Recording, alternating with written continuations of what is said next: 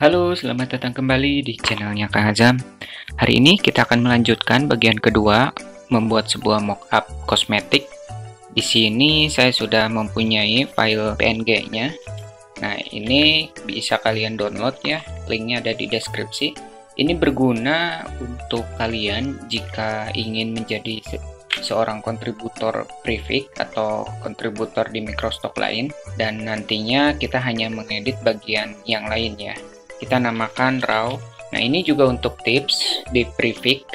Yang pertama, kita buat dulu sebuah background. Nah, background ini kita taruh di bawah layer raw. Nah, kita namakan BG. Nah, kalau udah kayak gini, tinggal dikasih warna aja. Pencet G, lalu pilih warnanya. Untuk contoh kali ini, saya akan menggunakan warna kuning. Nah, seperti ini. Bisa kalian edit ya atau rubah. Perlu kalian ingat, untuk ke FreePic itu kita hanya membutuhkan dua file ini ya, background sama file raw-nya atau file mentahannya yang nanti bisa diedit oleh para pembeli ya. Sebenarnya ini sedikit sih yang mau saya edit. Yang pertama, saya akan menambahkan sebuah uh, apa ya namanya itu bayangan pepohonan atau bayangan daun ya. Kita ke file lalu place embedded, pilih pepohonan yang kalian mau ya. Di sini saya menggunakan sebuah daun palem ya. Kalian bisa cari aja palem leaf. Nah ini saya akan buat menjadi bayangan ya.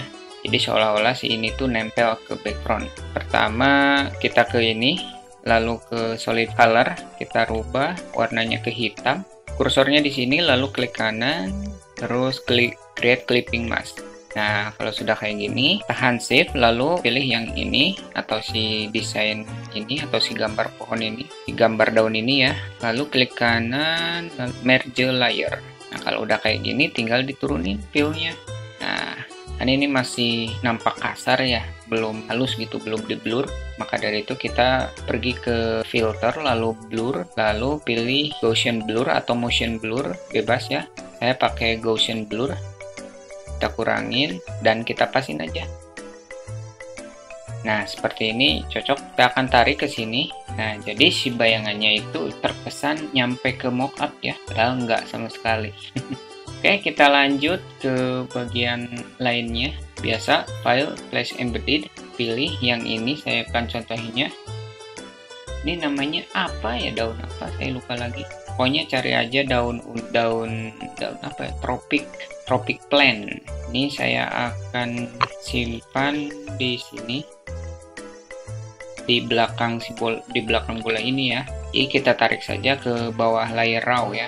Nah seperti ini. Tinggal diatur atur aja. Terus Ctrl T supaya bisa dirotasi. Nah kayak gini kayak kalau mau dibuat bayangannya bisa, nggak siniin aja, tapi untuk kali ini saya tidak akan memakai bayangannya. Lanjut, yang ini Ctrl J aja, biar bisa diduplikat, terus tarik ke atas layer raw, lalu simpan di sini, Ctrl T, dan rotasi. Oh sorry, ini seharusnya benar di bawah layer raw ya. Saya kunci dulu ya. Oke, kita kembali ke sini, Ctrl T, lalu diedit aja, dirotasi. Nah, sekarang kita akan kasih nih bayangannya. Pertama kita Ctrl J dulu, karena ini untuk bayangan. Lalu ganti solid colornya ke warna hitam. Terus klik kanan, create clipping mask, lalu tahan shift dan pilih layer yang ada di bawahnya. Klik kanan, lalu merge layer. Kita lihat. Nah, seperti ini ya kita simpan lagi nih di bawah layer daunnya. Yang ini dikunci aja. Oke kira-kira segini ya.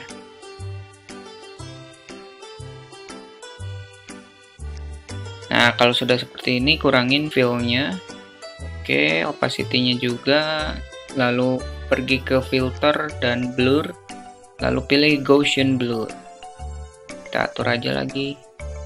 Nah kayaknya ini cocok. Coba segini deh Nah, segini nih kayaknya bagus.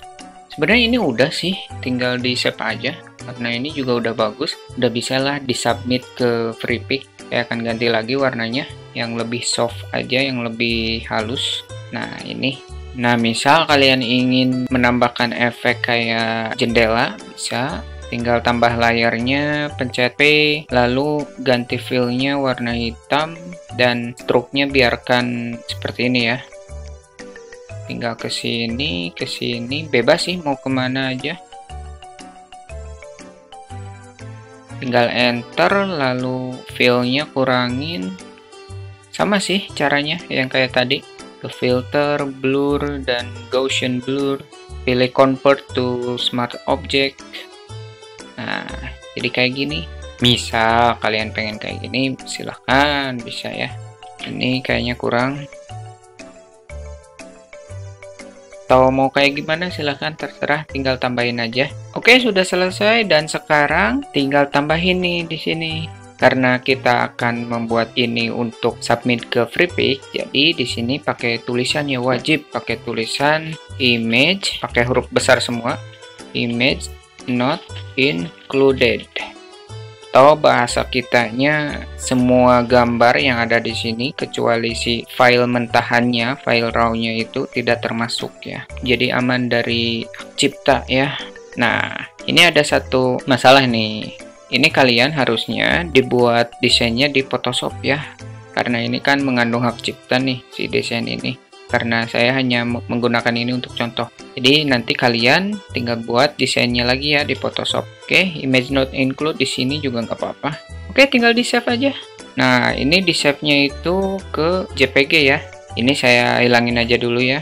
Nah, untuk file PSD-nya ini hapus ya. Semua hapus kecuali yang layer raw dan background. Oh, ininya. Nah, yang ini aja udah yang ini dikasih folder foldernya namain sesuai dengan isinya ya mau huruf besar mau huruf kecil bebas. Backgroundnya juga kasih folder BG atau background. Samain ya jangan sampai beda harus sama. Udah tinggal di save.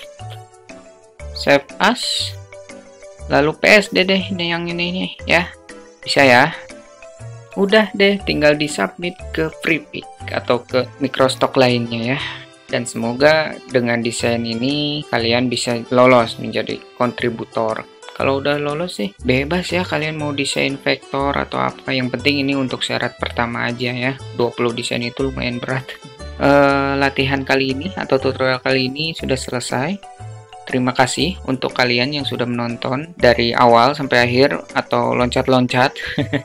Dan mohon maaf bila masih banyak kekurangan dalam hal penyampaian tutorial. Tetap semangat, rajin latihan. Sampai jumpa di tutorial-tutorial berikutnya. Dadah!